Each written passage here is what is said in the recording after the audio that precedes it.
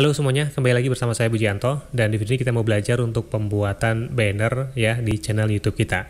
Nah ini bagian dari pengaturan channel yang baru yang mungkin masih sering dilupakan oleh teman-teman YouTuber pemula. Padahal ini bagian penting ya untuk memperkuat branding kita baik channel yang ditujukan untuk anak-anak maupun channel secara umum. Apalagi kalau teman-teman punya target untuk mendapatkan penghasilan dari kerjasama dengan brand atau endorse ya, itu biasanya brand akan melihat tampilan channel kita ketika kita bisa tampil profesional itu akan memperbesar kemungkinan terjadinya deal. Selain itu tampilan channel yang rapi, yang menarik itu juga akan lebih mudah diingat ya oleh subscriber kita. Oke teman-teman, jadi untuk membuatnya sebenarnya gampang, bisa menggunakan aplikasi apa pun ya, aplikasi editor foto ya. Yang terpenting adalah ukurannya pas ya, ukurannya sesuai untuk berbagai device. Ya, tapi agar bisa lebih banyak yang bisa mengikuti tutorial ini, saya akan buat dengan menggunakan HP saja dan menggunakan aplikasi Pixel Lab. Oke teman-teman, jadi kita akan menggunakan aplikasi Pixel Lab ya. Dan kalau teman-teman yang belum download, bisa di-download dulu di Play Store aplikasinya Pixel Lab seperti ini. Lalu sebelum kita mulai mengedit bannernya, kita akan siapkan dulu bahannya. Saya akan cari bahan background dan juga template untuk ukuran banner yang sesuai di Google. Kita buka dulu di Google Chrome. Lalu di sini kita ketikkan saja template banner YouTube ya seperti ini. Template banner YouTube. Kemudian kita menuju ke gambar di sini. Lalu kita pilih salah satu template banner yang ada ukurannya. Ya, saya suka yang ini ya ini ada panduan untuk garis-garisnya, jadi di mana untuk tengah-tengahnya, kemudian batas pinggir, kiri, kanan, atas bawahnya sudah jelas ya. Ini kita pilih, kita tekan, kemudian kita download dulu di sini gambarnya. Oke. Setelah itu kita cari lagi gambar untuk background. Kita ketikkan saja background menuju ke gambar dan teman-teman nanti sesuaikan saja dengan karakter dari channel teman-teman ya. Mau backgroundnya yang cerah, yang ceria ataupun yang elegan gitu ya tergantung dengan uh, tipe dari channel teman-teman masing-masing. Ya misalnya saya akan pilih yang ini ya warna-warni untuk yang ceria. Contohnya saya akan buat untuk channel anak-anak misalnya ya. Saya tekan kemudian download gambarnya Oke, sekarang kita sudah siapkan dua gambar dan kita masuk ke Pixel Lab. Ya, ini adalah uh, halaman pertama Pixel Lab ya ketika kita baru buka. Kemudian kita sesuaikan dulu ukurannya di sini, teman-teman. Kita klik yang ini, gambar layer ini. Kemudian di sini image size. Kita sesuaikan untuk pilihannya yaitu yang YouTube channel banner. Jadi biar ini nanti ukurannya sesuai untuk channel YouTube kita. Oke. Lalu kita masukkan gambar template ya untuk bannernya untuk panduan ukurannya, kita klik di tanda plus ini, kemudian masukkan from gallery, dan ini kita masukkan, tekan, kemudian pilih. Lalu kita oke okay di sini ya, checklist oke. Okay. Dan ini kita lebarkan. Ya, jadi seperti ini ukurannya ya. Dan di sini ada panduannya ya, teman-teman. Jadi yang tengah-tengah ini ini adalah ukuran agar tampilannya bagus untuk di HP ya atau di mobile dan kalau yang sampai kiri kanan ini ini akan tampil hanya di uh, desktop atau di komputer. Kemudian untuk keseluruhannya ini ini bisa tampil di TV ya. Dan kita akan maksimalkan tampilannya agar sesuai untuk tampilan di mobile ya.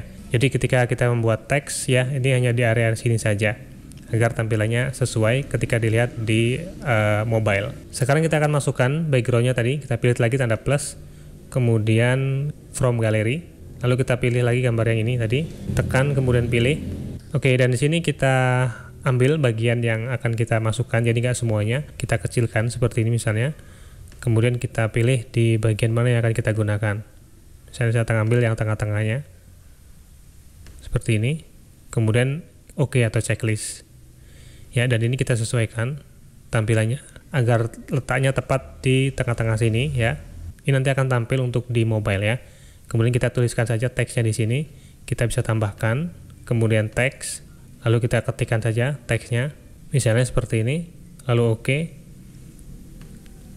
Dan kita paskan di tengah-tengah. Jadi ini ada garis tengahnya ya. Kita upayakan uh, teksnya agar di tengah-tengah. Lalu teksnya kita modifikasi dulu. Kita buat desainnya yang lebih menarik. Warnanya kita pilih misalnya warna yang ini agak cerah ya. Kemudian oke, OK lalu fontnya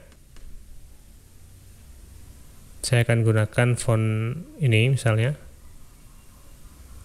Oke. Dan ini kita besarkan. Seperti ini. Kemudian teman-teman juga bisa menambahkan elemen lain ya, misalnya nomor WA atau username Instagram, username TikTok dan lain sebagainya kalau misalnya punya. Di sini disesuaikan saja ya. Kemudian seperti tadi bisa menambahkan gambar ya dari galeri, bisa menambahkan logo, misalnya logo Instagram atau logo Facebook, bisa juga menambahkan teks lagi. Ya, jadi disesuaikan saja dengan kreativitas teman-teman dan sesuai dengan karakter dari channel teman-teman.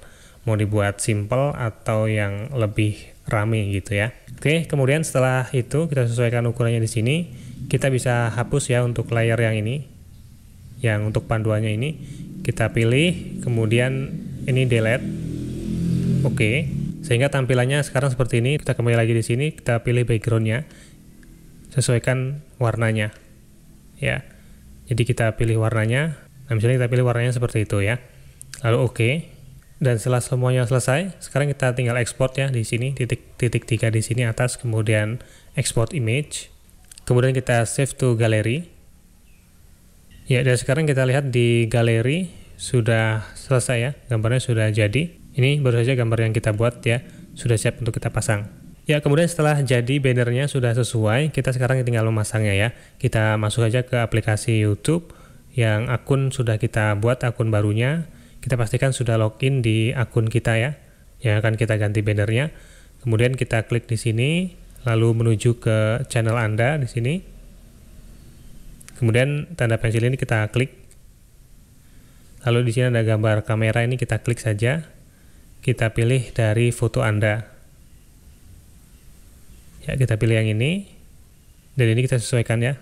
Ya kita sesuaikan. Jadi tadi ukuran yang kita buat ini kita pas kecil seperti ini. Jadi nanti teksnya itu pas di tengah-tengah di yang ada tulisannya semua perangkat.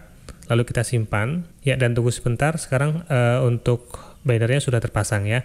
Kalau kita lihat lagi di channel tampilannya sekarang sudah seperti ini. Ini banner yang baru saja kita buat ya ya jadi segampang itu ya teman-teman ya. Jadi jangan malas untuk membuat desain banner untuk channel YouTube kita yang baru kita buat agar tampil lebih menarik. Dan pastikan untuk membuatnya kita sesuaikan dengan ukuran yang sesuai agar teks yang kita buat ini nanti tampil pas di bagian yang sesuai nggak ada yang terpotong. Baik saat itu dibuka dengan menggunakan HP maupun dibuka dengan desktop atau komputer Oke teman-teman jadi begitu ya cara membuat banner di channel YouTube kita yang baru dan juga cara memasangnya. Semoga bisa dipahami ya dan semoga bermanfaat ya. Terima kasih sudah menonton dan sampai jumpa di video saya selanjutnya